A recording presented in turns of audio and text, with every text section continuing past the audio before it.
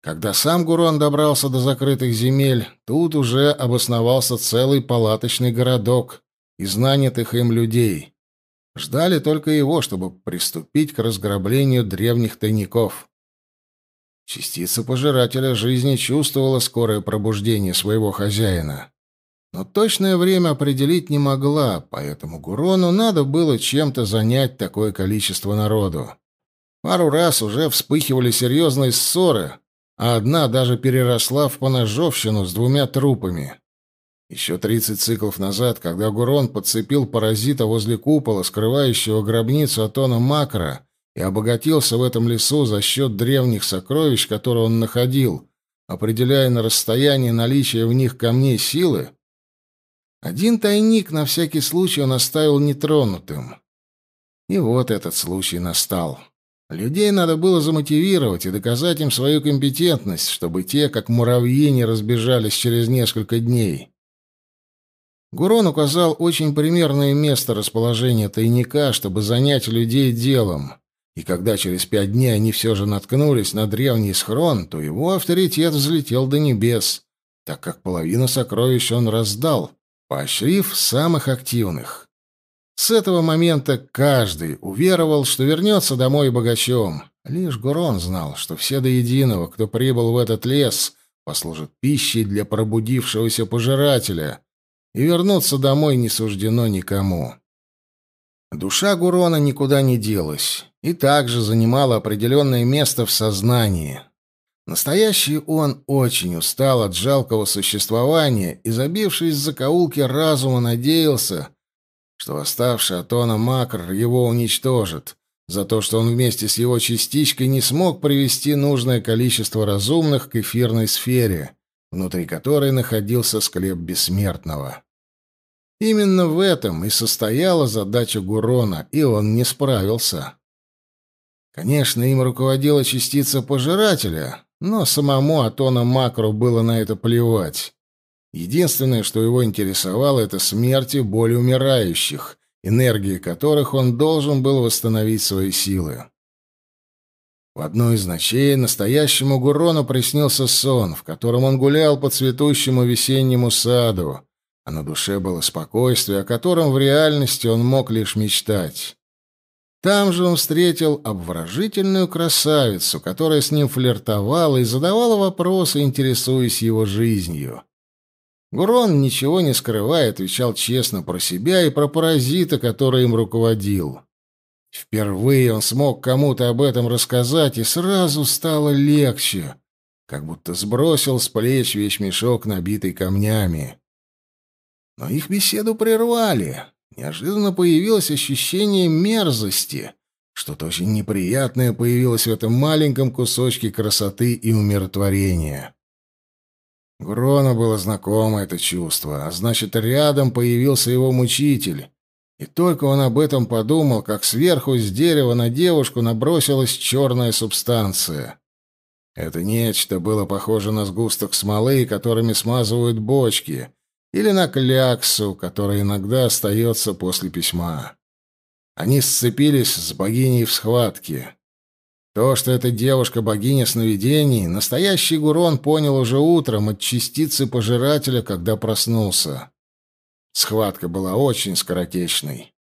Богиня смогла как-то избавиться от этого слизняка, отбросив его в сторону. А когда тот прямо из своего тела создал щупальца и потянулся к ней, девушка просто исчезла, растаяв как туман. Сущность внутри Гурона была в бешенстве. Теперь бессмертные знали о скором пробуждении пожирателя жизни, а значит, была вероятность того, что они попытаются помешать его планам. Прошло чуть больше декады. Среди людей появились недовольные и начали высказывать претензии по поводу безрезультатного перекапывания леса. Тогда Гурон де Кос демонстративно, лишь прикосновением ладони буквально заживо испепелил самого крикливого.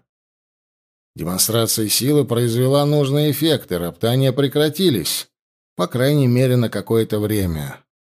А через несколько дней эфирная защита гробницы пала.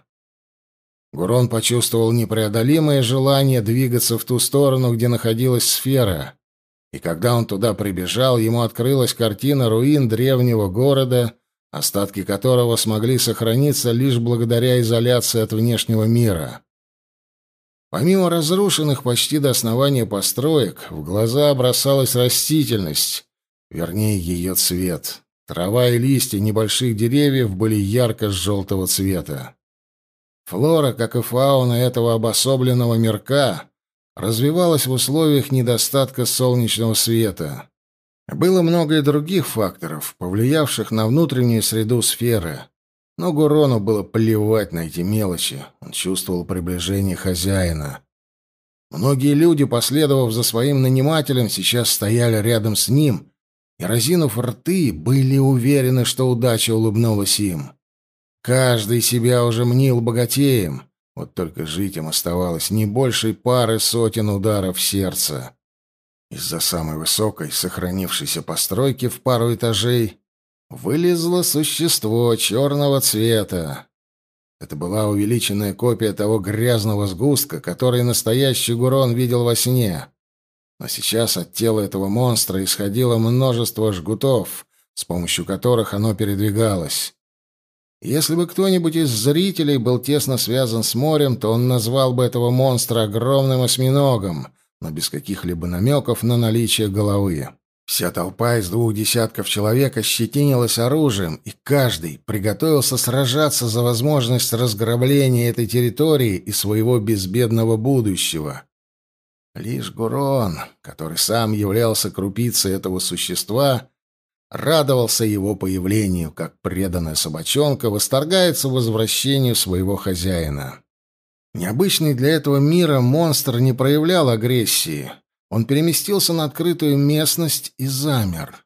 Всем показалось, что в воздухе завоняло какой-то мерзостью. Но это был не запах. Именно так пожиратель жизни выражал свой голод и жажду поглощения энергии смерти. Именно эти эмоции улавливал мозг людей. Вдруг от этого бесформенного куска грязи начали отделяться мелкие точки и зависать над ним в воздухе. Это было похоже на рой пчел, который вдруг резко сорвался с места и очень быстро рванул в сторону толпы. Гурон знал, что каждая подобная пчела — это частица сущности пожирателя жизни, и даже не шелохнулся, потому что бояться ему было нечего, он сам был чем-то подобным. В голову каждого человека, который стоял рядом с Гуроном, через ушное отверстие проникла такая пчелка — и брала разум под свой контроль. Вернее, пробуждала звериную агрессию, которая от природы была в каждом разумном без исключения. Остальной рой в поиске жертв полетел дальше. Люди безо всяких причин начали нападать друг на друга и убивать, как дикие звери. Не обращая внимания на уже полученные колотые раны и арбалетные болты в теле, они рвали плоть ногтями и зубами.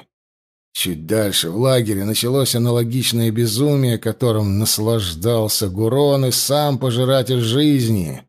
Даже на расстоянии они получали эманации боли и смерти, хотя Гурону доставалось лишь малая толика этой волны.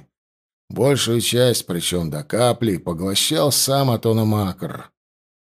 После выполнения своей функции каждая частичка возвращалась к своему хозяину — но те пчелки, которым не достался носитель человеческой расы, в ближайшей местности искали жертву среди животных и также провоцировали их на агрессию. А если животное не могло найти противника, с которым можно сразиться насмерть, оно с пеной у рта разбивало себе голову о ближайшее дерево или камень. Когда все закончилось и вернулись все посланные пожирателем маленькие убийцы, его истинное тело начало меняться.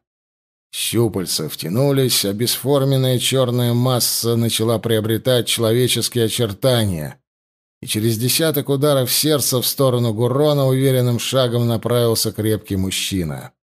Если не сканировать ауру, то для обычного обывателя на вид это был типичный представитель человеческой расы среднего возраста с короткими волосами темного цвета и жилистым торсом, но без бугристых мышц атлета.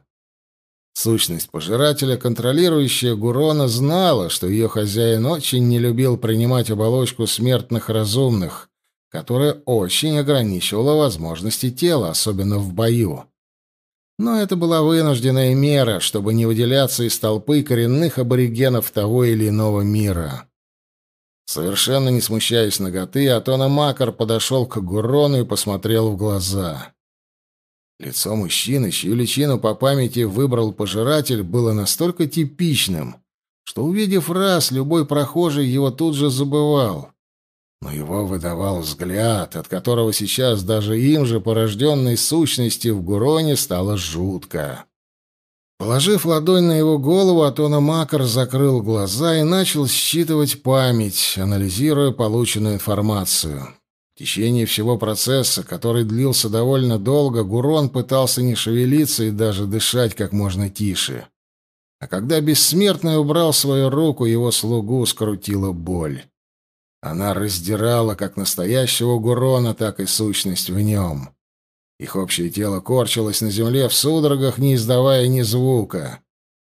Когда боль отпустила, Гурон услышал голос своего хозяина. «Ты должен был привести сюда десятки тысяч разумных, но ты не справился. Помимо этого, ты позволил бессмертным узнать о моем пробуждении. Смертей этих людишек мне мало. Я ослаблен по твоей вине и не готов к встрече с другими богами. Но тебя я сейчас не убью. Твое время еще придет, и на легкую смерть не рассчитывай. Ты мне еще послужишь. Жди меня в этом лагере. Я скоро вернусь и утоплю этот мир в боли. А потом уничтожу эту планету, чтобы она больше не напоминала мне о моих ошибках.